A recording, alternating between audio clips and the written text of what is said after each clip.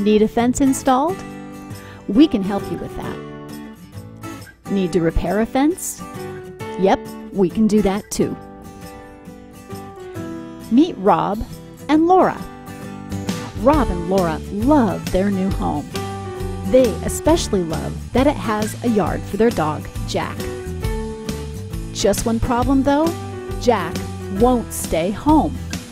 Jack wants to explore the neighborhood, and Laura is tired of running after him. Rob and Laura know that they need a fence. But who should they call? There are so many confusing options.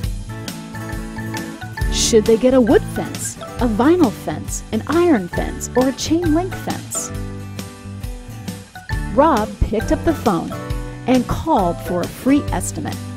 Call the number on your screen for your free estimate.